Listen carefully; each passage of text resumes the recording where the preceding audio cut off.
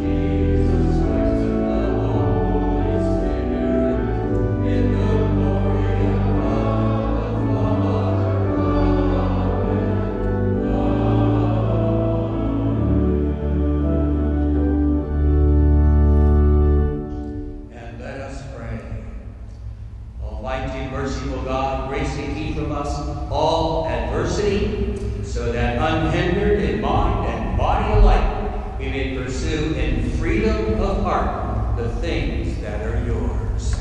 And we make this prayer in Christ our Lord. Let's be attentive to God's word.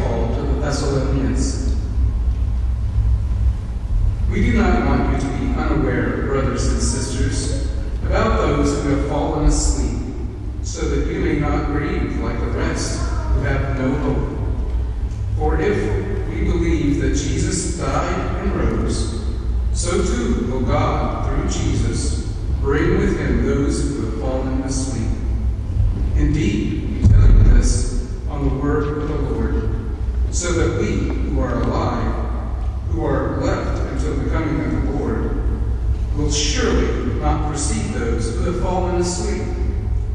For the Lord himself, with a word of command, with the voice of an archangel, and with the trumpet of God, will come down from heaven, and the dead in Christ will rise first. Then we who are alive, who are left, will be caught up together with them in the clouds to meet the Lord in the air Thus we shall always be with the Lord. Therefore, console one another with these words. The word of the Lord.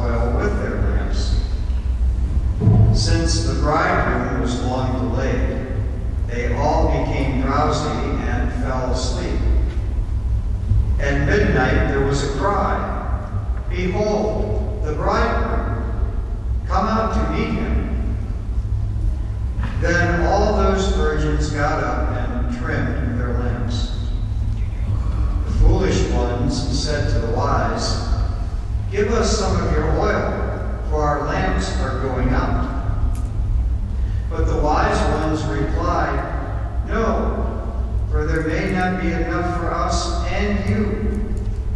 Go instead to the merchants and buy some for yourselves. While they went off to buy it, the bridegroom came, and those who were ready went into the wedding feast with him. Then the door was locked. Afterwards, the other virgins came and said,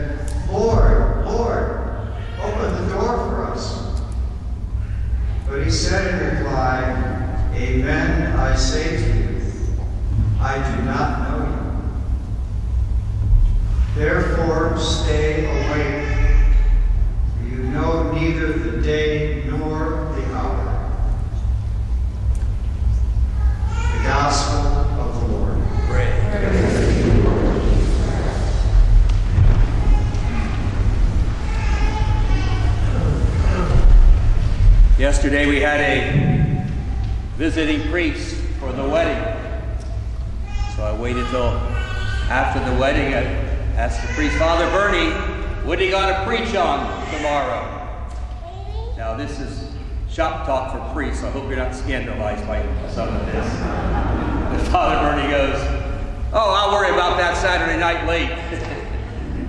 so I come back and I said, Bernie, the readings there are all about being prepared. You should be prepared. You're working on your homily Saturday night late for Sunday morning. And he goes, it was a perfect back at you. Okay, he goes, the fact that you're asking me these questions, Jim, indicate you're not prepared either. So, you're not ready for the homily either. So back at you. But I want to complete that conversation later on in the homily. That was an excellent back at you. The fact, Jim, that you're asking questions, you're not, you're not as prepared as you should be too. One thing I'm sure I never really ever shared with you when I was a younger priest, I was the Archdiocesan Boy Scout chaplain for about 10 years. When I was younger, as you know, I was a teacher, I was a football coach, uh, I was a chaplain. And the diocese thought I'd be an excellent person to, to deal with the, the, the, Boy Scouts. And so I remember many a award banquet, many a talk on scouting, and many a campsite outdoor mass in the, in the evening. As many of you know, the Boy Scout motto, as the sign says, is being prepared. Uh, that was crafted by Baden Peyton uh, around 1907, who came up with the motto. Uh, Baden Peyton was his name. 1907, be prepared. And one time he was talk, giving a talk on that, and, and somebody said, Be prepared for what? And he came back and he said, Anything. A scout should be prepared for anything that comes your way, not be caught off guard, not be surprised. You should be ready to serve your neighbor at any time that comes your way. You should be ready to do what's right in any situation. So a true scout is always prepared, ready to do what's right in any situation. Huh? Physically fit, morally straight, ready, prepared to respond any situation comes your way, and never be caught off guard or be surprised. Wow, that's that's not true for scouts. That's that's true for all of us. I'm sure many of you are aware of Stephen Covey's book, The Seven Habits of Highly Effective People, and that's the first habit of highly effective people. Being prepared, being proactive. Effective people are not reactive, they are proactive. So, what Stephen Covey said is exactly what the Scouts teach by their motto, being prepared. Now, let me complete the conversation with Father Bernie a little bit? Because that's what the the readings today are all about being proactive, being prepared. First reading talks about the importance of wisdom in our life. Wisdom is a virtue. It gives us knowledge not from the textbook, but from the experiences of our lives. That's why wisdom is often related to being older, got more experience. And wisdom is always learned, okay, by, by failure. A wise person learns from mistakes of the past. A fool does not. That's how you get wisdom from the experience of your life. And then we go to the gospel. And there were ten virgins. Five were wise, five were foolish. What was the difference? Once again, being prepared, being proactive. the uh, five wise ones had enough oil, they're prepared, they're proactive, and the, uh, the, the, the, foolish ones were, were not. Okay, so that's the Word of God. And let's go back to the conversation Father Bernie.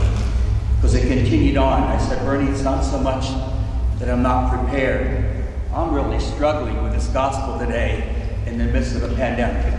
God is saying we got to be prepared. We got to be proactive. And I go, how in the world are we supposed to be prepared for this pandemic? That's what I struggle with all week long. You know, and I'm not getting into the politics of that question. I was on a deeper level, spiritual level, and I took it to prayer, you know. And so not so much I was not prepared, I was struggling with that. There's certain things in life we can't be prepared for. How, Lord? were we ever supposed to be prepared to handle this pandemic? It's not just about so much of that one nation got it, the whole world got it. It's global. Lord, how could we ever been totally proactively prepared for that?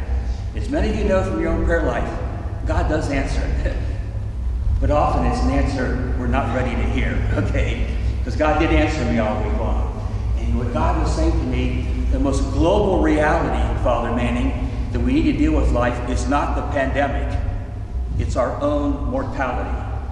That's the most global reality in the world. We're all going to die someday, and no one gets out of this world alive. So take it to a deeper level. The question is not being prepared for the pandemic, is are we all prepared for our mortality? The fact we're all going to die someday. The whole month of November is devoted to that. Last week was All Saints. Monday, All Souls. On Friday night, we're having All Souls Mass those died this past year. Please come. November says, please pray for our deceased loved ones. Visit their grave sites. Huh? The whole month of November is, is devoted to that. And God answered my prayers in a surprise way. The most global reality we're facing is not the pandemic, it's the fact that we're all going to die someday. And we do not know the day or the hour. That we don't have to be prepared for. We can't be prepared for that. We don't know the day or the hour. But one thing we have control over is how spiritually prepared we're going to be when that day happens for us. And that's what God's saying. We do have control for that. We can be proactive. We can be prepared. We can't be prepared for the day or the hour. I don't know that. But I, I do have control over. And I can be proactive, prepared for how spiritually prepared I'm going to be when that day happens to me and to you. So the real question is, if today will be the day when God comes knocking at our door to come and take us home to heaven, could we really say, I am prepared to leave this world and go home to heaven? And if we have to say, I'm not ready yet, then we're still alive, right? We got some time to do something about that.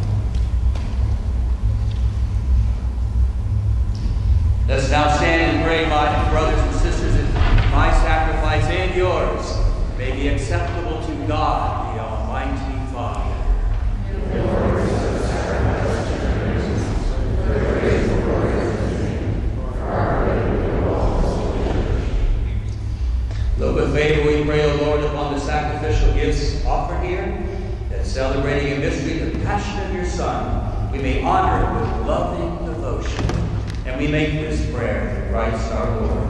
Amen. The Lord be with you. And with your spirit. Lift up your hearts. And let us give thanks to the Lord our God. It is, right it is truly right and just, our duty and our salvation, always and everywhere to give you thanks, our Holy Father, Almighty God, who you so loved the world that in your mercy you sent us the Redeemer live like us in all things but sin. That you might see and love in us what you see and love in your Son. By his obedience, we have to restore to those gifts of yours that by sinning, we've all lost in disobedience. So, Lord, with all the angels, all the saints, we do give you thanks as an exultation we acclaim.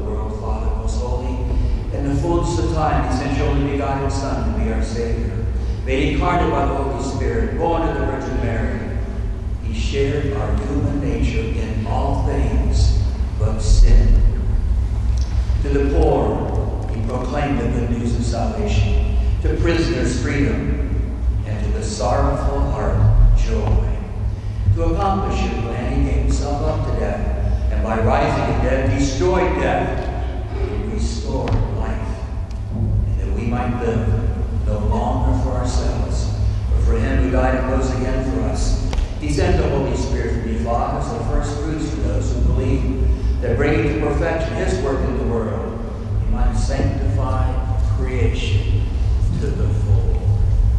Therefore, Lord, we pray, may the same Holy Spirit graciously sanctify these offerings, that they may become for us the body and the blood of your Son, our Lord Jesus Christ. For the celebration of this great mystery which he himself left us as the eternal covenant. For when the hour had come for him to be glorified by you, Father most holy, having loved his own who were in the world, he loved them to the end. And while they were at supper, he took bread, said the blessing, broke the bread, gave it to his disciples, saying, Take this, all of you, and eat of it. For this is my body, which will be given up for you. In a similar way, taking the chalice filled with the fruit of the vine, he gave thanks, gave the chalice to his disciples, saying, Take this, all of you, and drink from it. For this is the chalice of my blood, the blood of the new and eternal covenant, which will be poured out for you and for many, the forgiveness of sins. Do this in memory of me. In song,